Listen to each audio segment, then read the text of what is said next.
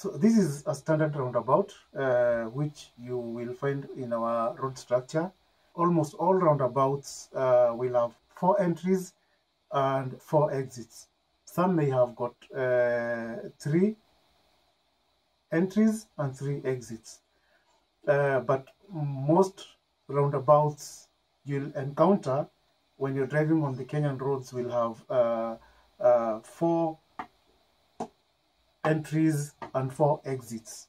When you're looking at a roundabout, you look at it as if it's a, a wall clock.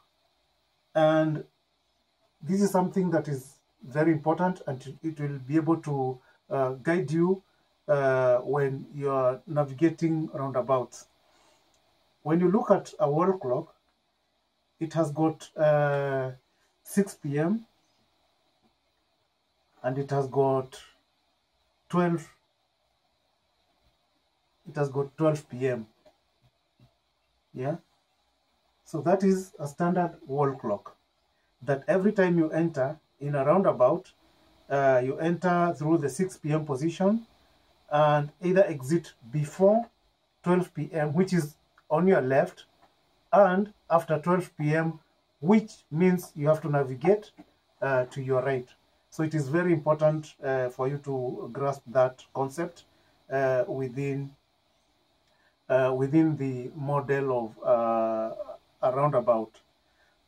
Also, the second thing, uh, you have got four exits to leave a roundabout. Assuming you are entering the roundabout from these positions, your your first exit is your first left, which is the first exit. That is your on your left. That is your first exit. Your second exit, which is here, this is straight on. Always remember, straight on will be your second exit. Your third exit will be one right turn and one left turn, and that one will be your third exit. And finally, your fourth exit will be a U-turn.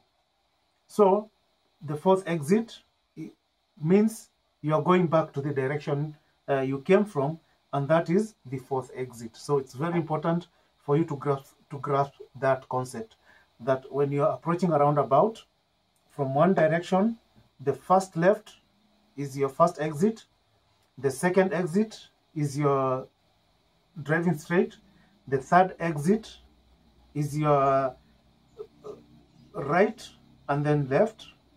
And that will be your third exit.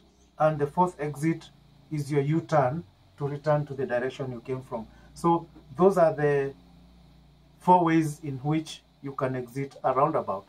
As per the NTSA Kenya Learners Driver Handbook, these are the directions on a four-lane road when approaching a roundabout. So lane number one has got two options, which are stay on lane one and go straight ahead at zero degrees, and that is your second exit. The second option for lane number one is turn left at 90 degrees, and that will take you to the second exit. Lane number two has one option only, and that is go straight only at zero degrees, and you're exiting at your second exit. Lane number three has two options. Option number one for lane number three is stay on lane number three and go straight, which will exit you at the second exit. Lane number three also has the second option, which is turn right at 90 degrees, which will exit you at exit number three. Lane number four has got four options. Option number one, turn right at 90 degrees, which will take you at the third exit of the roundabout. Option number two is come back at 180 degrees, which is a U-turn, and this will exit you at the fourth exit. Option number three for lane number four is turn left at 270 degrees, and this will exit you on exit number one. The final option for lane number four is go straight, and this means you have to do a 360 degrees, and that is going round uh, the roundabout, and then exiting at the second exit. Those are the full roundabout maneuver as per a four lane road joining a roundabout or approaching a roundabout. Please refer to the N- NTSA Driver's Learner Handbook for more directions on how to maneuver a roundabout. And these will be from pages 80, 81, and 82. You can get a free copy by uh, sending your email or WhatsApp number to the contact provided at the description of this video. Thank you for watching.